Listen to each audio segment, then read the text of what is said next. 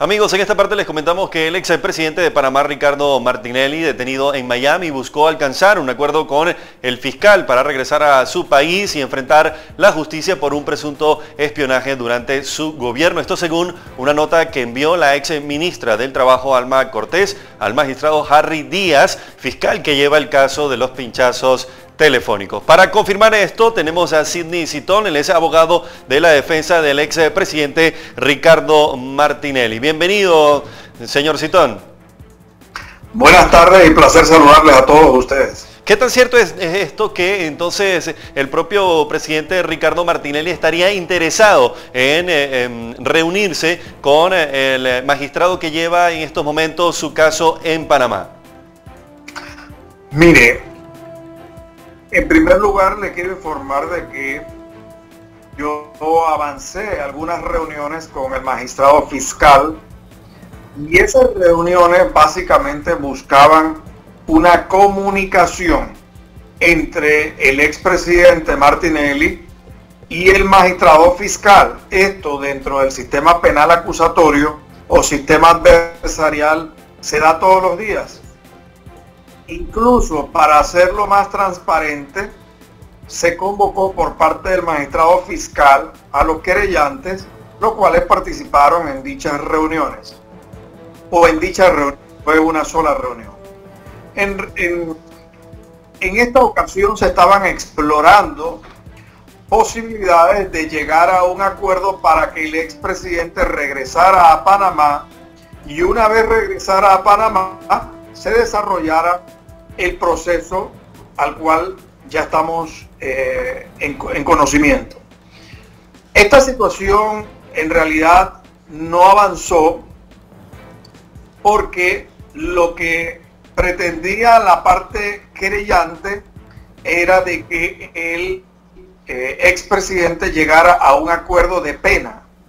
La defensa nunca planteó en la nota en donde se solicitó que ambos se entrevistaran, jamás se habló de acuerdo de pena.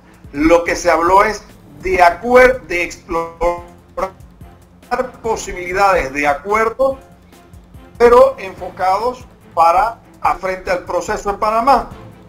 Como quiera que la fiscalía tiene otra hoja de ruta diferente a la de la defensa, no se dio dicho, dicho encuentro y no se pudo ni siquiera iniciar una conversación para tratar de explorar vías de avenimiento.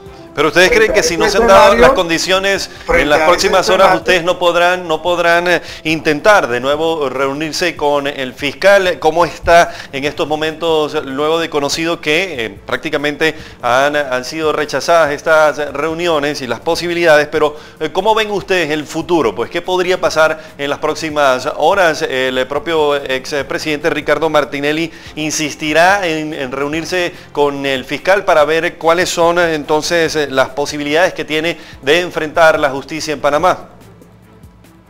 Mire, en realidad eh, la ley dice que cuando se celebre algún tipo de acuerdo, se celebra entre la persona que está siendo objeto del proceso y el fiscal. La ley no habla de los creyentes. Sin embargo, el fiscal pidió tomar en consideración a los creyentes para que también fueran a dicho encuentro, aun cuando ellos no podían acceder a la prisión, pero por un tema de transparencia él quería que ellos fueran a Estados Unidos. Y se accedió a eso. Entonces, frente a esa situación, yo sí le planteé al fiscal de que eh, yo desistía de que se produjera algún tipo de encuentro en razón de que ellos mantienen una posición totalmente diferente.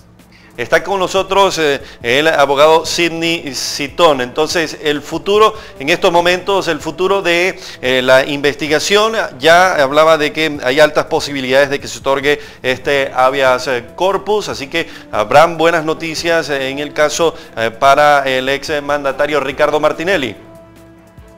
Bueno, miren, nosotros ya tenemos cerrado oficialmente siete casos hemos logrado cerrar ya siete casos de lo que él se le habían abierto. y hay aproximadamente unos nueve casos aperturados, entendiendo que si él fuera extraditado, vendría solamente por el principio de especialidad o la regla de especialidad, vendría solamente a responder por ese caso, no por los ocho restantes. Y ya hemos logrado cerrar aproximadamente siete casos en la República de Panamá. Así que yo creo que poco a poco se ha logrado un avance sustancial en cuanto a su defensa. Bueno, vamos a estar bien pendientes y haciéndole seguimiento a este proceso que ustedes llevan a cabo como defensa del ex presidente Ricardo Martinelli. Muchas gracias. Lo importante, eh, antes de, terminar la entrevista, es importante señalar de que Ricardo Martinelli, estando detenido en Miami, en la última encuesta de opinión de Dicter Agneira, es visto por la población panameña como el principal líder de la oposición de este país. Bueno, vamos a estar bien pendientes de ese caso, como le decía. Muchas gracias por su atención y por estos minutos eh, que eh, nos dispensó acá al Centro Internacional de Noticias de C24 en Centroamérica. Muchas gracias.